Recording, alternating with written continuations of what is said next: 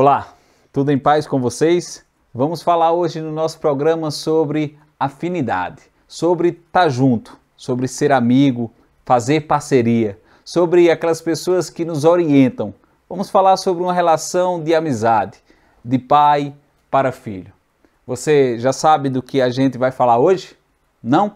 Vamos falar sobre ele ou sobre eles, aqueles que nos intuem. Ainda não sabe do que nós vamos falar? Então eu vou te dar uma dica. E aí, já adivinhou? Nós vamos falar realmente sobre os anjos. O anjo da guarda, os espíritos protetores, espíritos simpáticos, espíritos familiares. Vamos falar sobre essa galera toda hoje aqui no nosso programa do Palavras do Bem. E vocês são os nossos convidados. Então, pega teu café e vem conosco.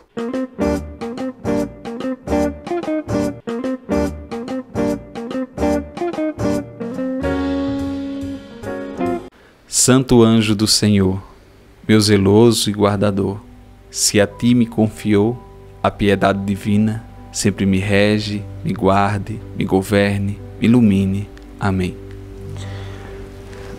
Essa geralmente é uma oração que nós fazemos pequeninos. Nossos pais nos ensinam, geralmente é a primeira oração que aprendemos. Santo anjo. Mas quem seria esse anjo a quem nós pedimos proteção? A quem a piedade divina nos confiou. Eles, na verdade, são os que sempre estão ao nosso lado, nos protegendo, nos apontando os caminhos para o nosso crescimento, nos momentos de dificuldades, nos momentos de dores, mas também nos momentos de alegria. Por vezes, queremos saber quem são os nossos ou nosso anjo da guarda, quem é o nosso mentor espiritual. Mas isso não tem tanto interesse. O importante é saber que Ele está sempre ao nosso lado, nos auxiliando. Podemos dar o nome que quisermos para Ele, chamá-los da maneira que mais nos agrada. Se você já notou, algumas crianças em tenra idade ainda têm os seus amigos imaginários, que dão inclusive nomes a eles, brincam com eles. Não se duvida muito serem esses amigos imaginários os mentores e os anjos da guarda dessas crianças, porque nessa idade ainda estão muito mais ligados aos pequeninos. Dessa maneira, como sabemos, os anjos da guarda são aqueles que protegem e velam o nosso sono, o nosso acordar e o nosso caminhar. Por isso que a piedade divina, como diz a oração, nos confiou para nos proteger. Sempre temos muitos nomes para falar dos espíritos protetores. Nós escutamos falar sobre anjo da guarda, anjo guardião, mentores espirituais, guias espirituais. O que seria, na verdade, cada nomenclatura dessa?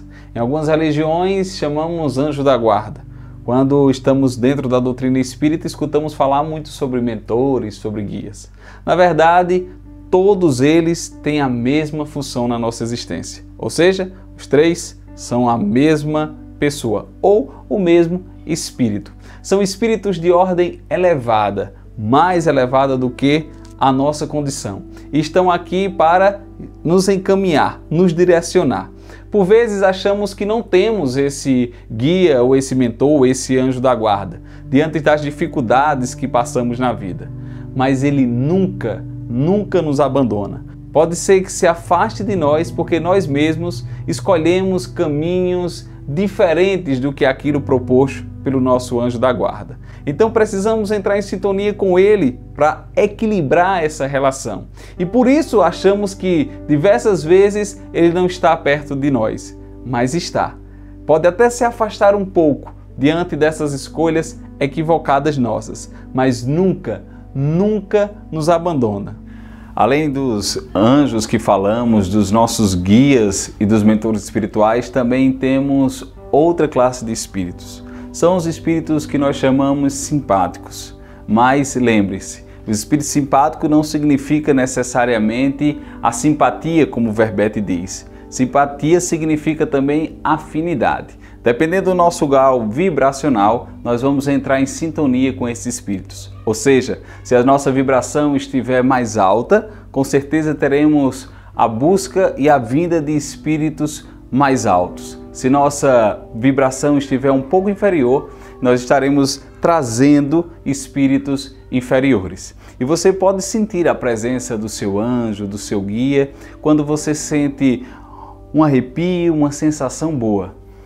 Assim como eu sinto agora no momento. Ele às vezes está olhando para nós, olhando como está a nossa vivência nesta encarnação.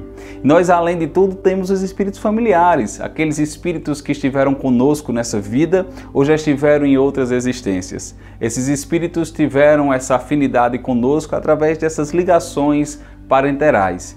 Dessa maneira, também são espíritos que não estão necessariamente superiores a nós, às vezes na mesma faixa vibracional ou até mesmo inferior, mas sempre querem o nosso bem, estão sempre dispostos a cuidar de nós. Além disso, temos os espíritos que estão sempre olhando para uma coletividade, seja para uma cidade, para um continente, para um país, seja para algum local específico. E dependendo do grau vibracional deste local, nós começamos a entender a participação desses espíritos de luz aí.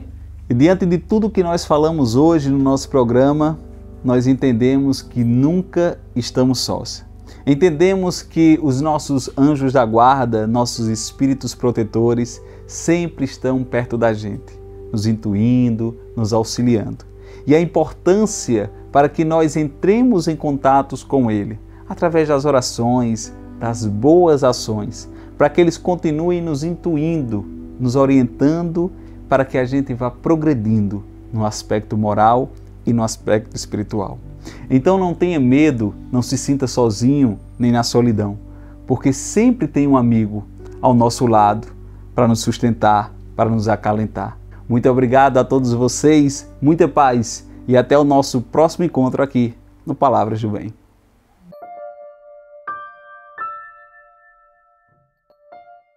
clareia minha estrada. Toda vez nessa parte. Acho que era isso. Não era, Luana? Saiu, meu amigo. Ah, danado.